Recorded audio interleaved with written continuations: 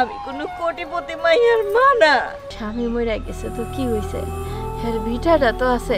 আমরা দুই কোটিপতি ভাই বোন সমাজে মুখ দেখাতে পারি না। আর আমাদের মা নাকি রাস্তায় ভিক্ষা করে। ঠিকই ওর মার কাছে একদিন ফিরাইব সবকিছু আমরা এতিমখানায় দান করে দিছি। কোটিপতিদের নাটকের শেষ দৃশ্যটা এরকম নির্মম হবে এটা আমি আগের থেকেই জানতাম।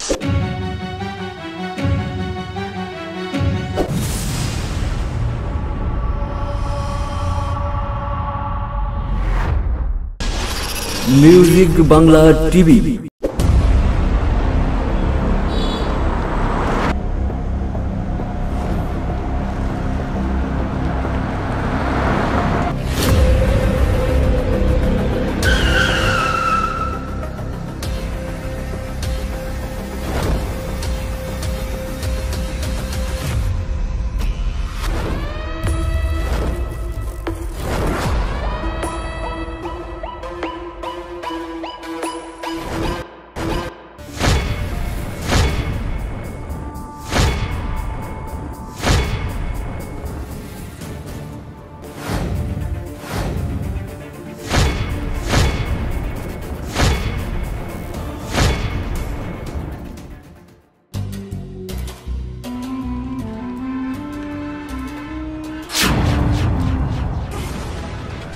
এই ছোট লোক, তোর এত বড় সাহস? তুই আর কোনো মানুষ পেলি না, আর কোনো ভিক্ষুক পেলি না। তোর এই ভিক্ষুককে তোর ভিক্ষা দিতে হবে? এই! এই ফকির নিয়ে যদি আর কোনো সময় ভিক্ষা দাস তোর এই হাতটা আমি কেটেই হলাম যা!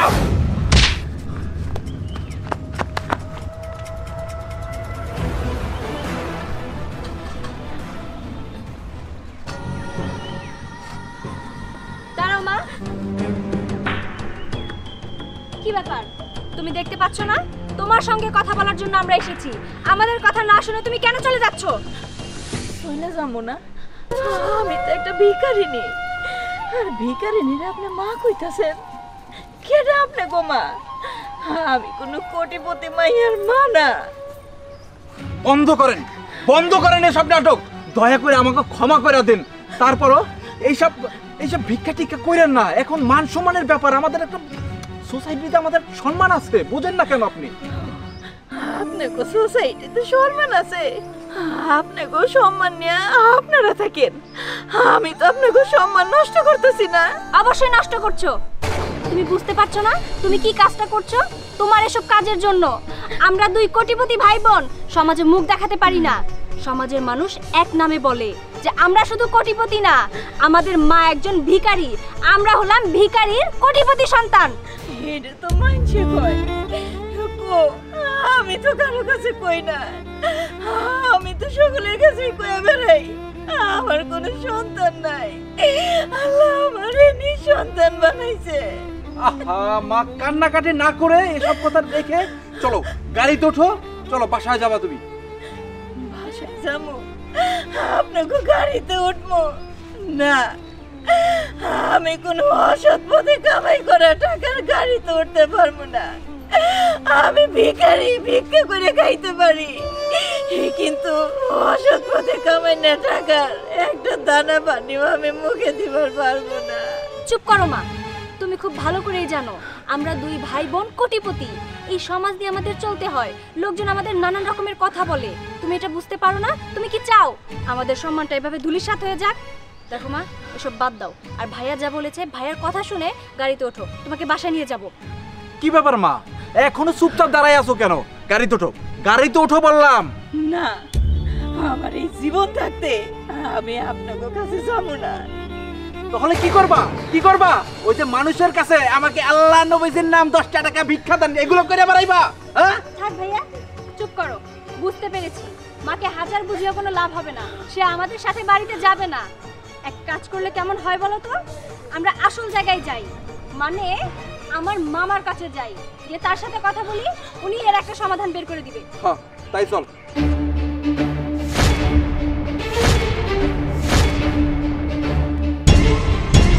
কে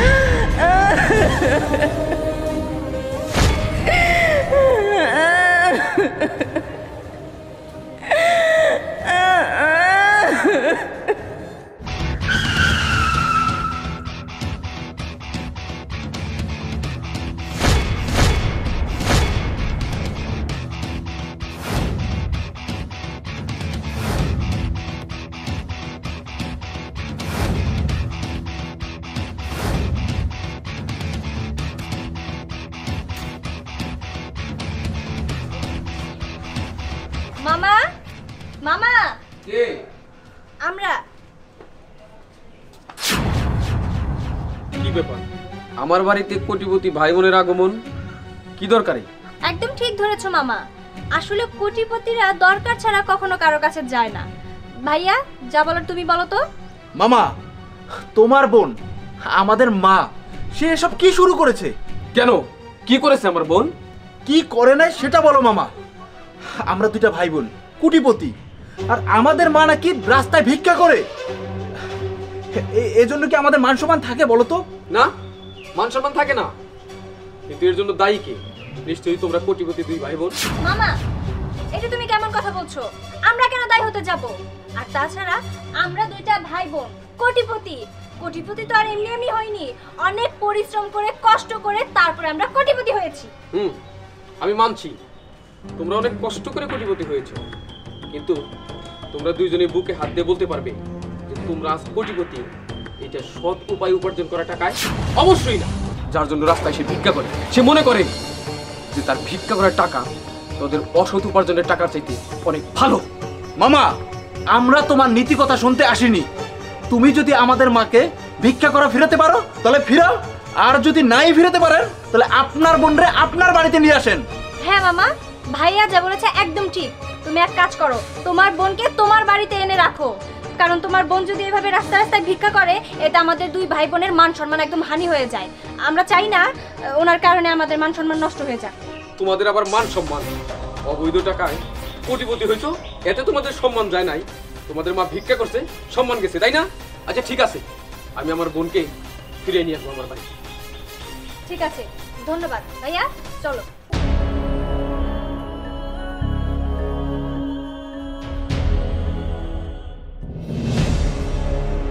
অমানুষ। ভাই বোন দুইটাই অমানুষ। বুবু? বুবু? কেডা? বুবু? মাহিন এতদিন পর বুবুর কথা মনে পড়ছে রে। হ বুবু তোমার কথা সবসময় মনে পড়ে। যাক এখন হয়তো কথা বলার সময় নাই। তুমি ব্যাগ ট্যাগ গোছাও আমার সাথে চলো। কেন? আমি ব্যাগ গোছায়ে বাইতে যাব কেন? আমার স্বামীর বিটা থুয়া আমি যে কোনো জায়গায় যাব না হেরা তো তুই খুব ভালো করেই জানস। বুবু তুমি স্বামী সন্তান স্বামী সন্তান কইরা নিজের জীবনটা একবার শেষ করে ফেলাইছো। এই সন্তানকে মুখের দিকে তাকাইয়া তোমার আর কিছুই করার লাগবে না। তুমি আমার সাথে চলো। না রে ভাই দশ বছর আগেই তো তোরে কইছি আমার স্বামী মরে গেছে তো কি হইছে? এর ভিটাটা তো আছে এই ভিটা থুইয়া আমি কোনো জায়গায় যাব না। আমি জানি বুবু তোমার বোঝানোর মতো সাধ্য আমার নাই। কিন্তু জানো তোমার এই কোটিপতি পোলা মাইয়া আমার কাছে গেছিল। তারা যাই আমার মুখের উপর বইলে আসছে। হয় তোমার ভিক্ষা বন্ধ করানো লাগবো না হইলে তুমি যেন আমার কাছে এসে থাকো। তাই আমি দেরি না করে তোমার নিতে আইলাম। বুবু তোমার কোটিপতি সন্তানেরা তোমার প্রতি মমতা না করবার পারে। কিন্তু ভাই হিসাবে আমি আমার দায়িত্ব পালন করবার চাই। না রে মাইন তোর দায়িত্ব তুই পালন করতে আইসস? আমি অনেক খুশি হয়েছি রে ভাই। কিন্তু এই ভিটা মাটি ধুইয়া আমি তোর বাড়িতেও যাব না, কোনো জায়গায় যাব না। আমার যদি শেষ নিঃশ্বাস ত্যাগ করতে হয়, আমি এই ভিটা মাটিতেই ত্যাগ করব। একটা কথা জানোস ভাই, আমার পোলা মাহিয়া তুইটা ও অসৎ পথে টাকা কামাইয়া ওরা কোটিপতি হয়েছে তবে আমার বিশ্বাস, আমার পোলা মাইয়া নিজের ভুল বুঝতে পাইরা ওই টাকা পয়সা ধন দৌলত চাইরা ঠিকই ওর মার কাছে একদিন ফিরে আইব ফিরে আইব। বুবু, আমি বুঝলাম তুমি আমার লগে যাইবা না। কিন্তু একটা কথা কয়ে যাই। তুমি একটু সাবধানে থাইকো। তার কারণ, তোমার দুই ছেলে মেয়ে, ওরা এখন আর মানুষ নাই। ওরা টাকা পয়সার নেশায় অমানুষ হয়ে গেছে।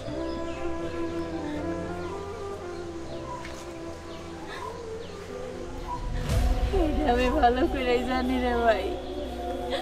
ওরাও মানুষ হয়ে গেছে। তার সাথে এটাও জানি।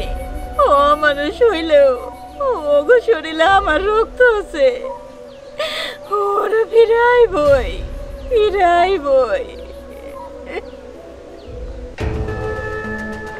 অথয় অথয়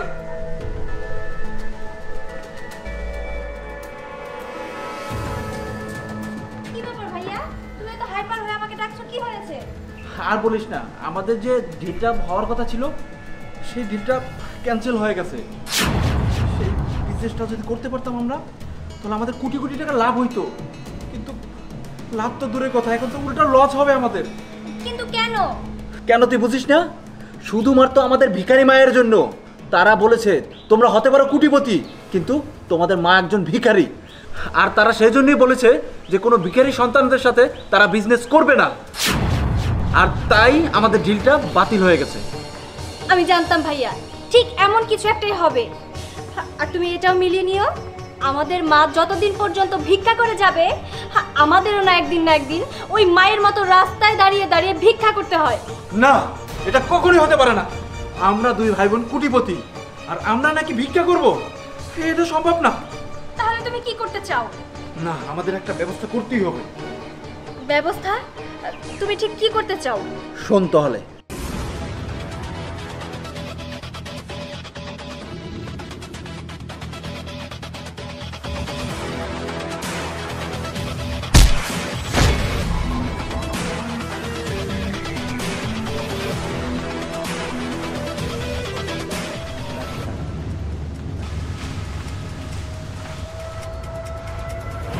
ঠিক আছে ভাইয়া।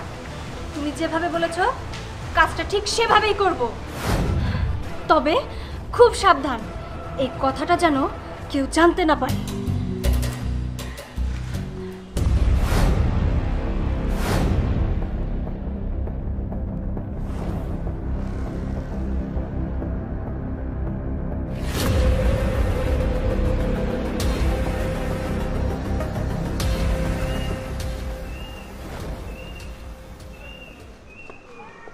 মা মা আজকে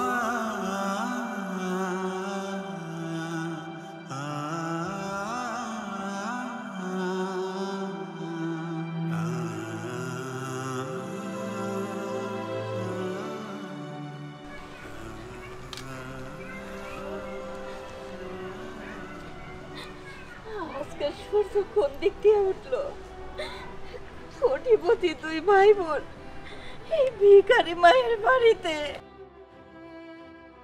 মা! মা আমরা দুই ভাই বোন আমাদের ভুল বুঝতে পেরেছি। আমরা এটাও বুঝতে পেরেছি। অসৎ পয়সা ইনকাম করলে সেই পয়সায় কোনো সুখ থাকে না কোনো শান্তি থাকে না।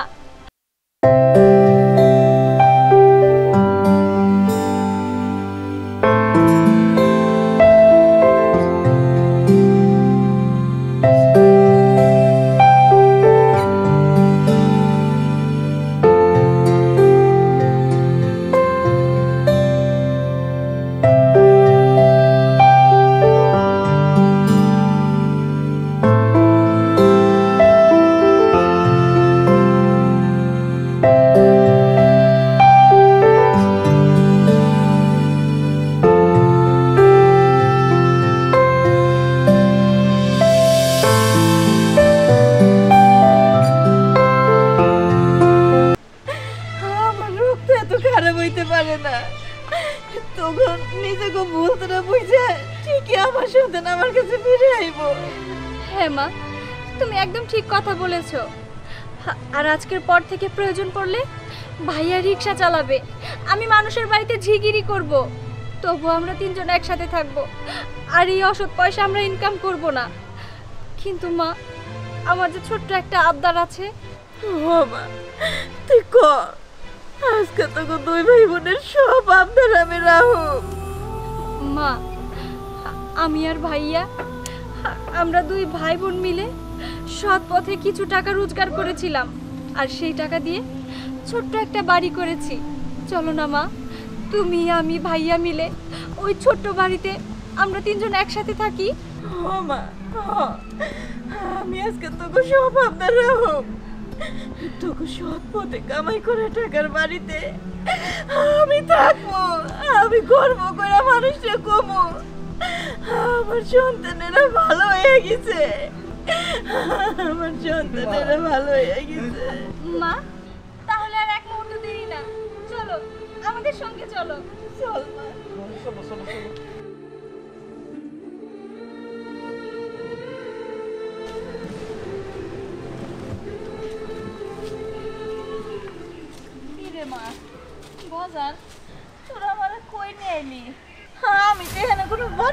বাড়ি না আছে মা আছে। এই যে এই যে জায়গাটা দেখতেছো না? এই জায়গা? এইটা তো কবরস্থানের মতন লাগতেছে। হ্যাঁ কবরস্থানের মতো না এটা কবরই হবে। তোমার জন্য না খুব সুন্দর করে সাড়ে তিন হাত কবর করে তোমার জন্য বাসা করব বুঝতে পেরেছ? মানে? তোরা তোরা আমার এই কবরস্থানে নিয়ে এসেছিস কি লেগা? কিসের জন্য বুঝতে পারোনি? তুমি তুমি ভিখারিনী শুধুমাত্র এই তোমার কারণে আমরা কোটিপতি দুই ভাই বোন মানুষের কাছে মুখ দেখাতে পারি না। কোটি কোটি টাকা থাকা সত্ত্বেও মানুষ আমাদের চেঁচি করে। শুধু তাই না, এই তো দুই দিন আগে কোটি কোটি টাকার ডিল আমাদের হাত হাতছাড়া হয়ে গেল, শুধুমাত্র তোমার কারণে। তুমি ভিক্ষা করো বলে ওনারা আমাদের কোনো ডিলই দিল না। কি করব আমরা বলো তো? তোমার মতো মা থাকার চেয়ে না থাকা অনেক ভালো।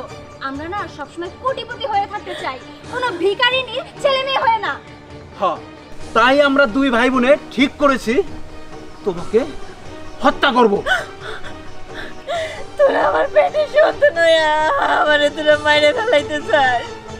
মাইরে ফেলা আমার আর এই দুনিয়ায় বাইসে থাকার কোনো ইচ্ছা নাই। ধর তুই ধর মাইরে ফেলাম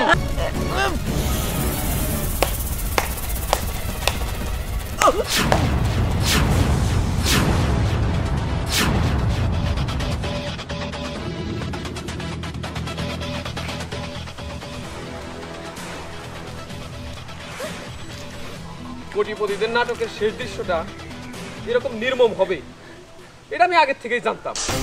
তার জন্য আমি আমার বোনের নজরে নজরে রাখছি। তা ভাবছিলাম কেন? মাইরা ফালা। মাইরা ফালা একবারে। শোন, তোদের মতো সন্তান জন্ম দেওয়া হচ্ছে পাপ। বুবু, তোমার আমি কইছিলাম না? আর তুমি কইলা যে না, আমার সন্তানরা আমার কাছে ফিরাইবো। হ্যাঁ ফিরাইছে তো। আজরাইল হয়ে ফিরাইছি। তোমার জান নেওয়ার জন্য ফিরাইছি। আমি আমার বোনরে নিয়ে যেতাম ভবিষ্যতে কোনো দিন চিন্তাও করবি না, তোদের একজন মা ছিল। আজকে থেকে তোদের কাছে তোর মা মৃত, আর আমাদের কাছে তোরাও মৃত। আমাদের সাথে ভবিষ্যতে তোদের আর কোনো সম্পর্ক নাই। চলো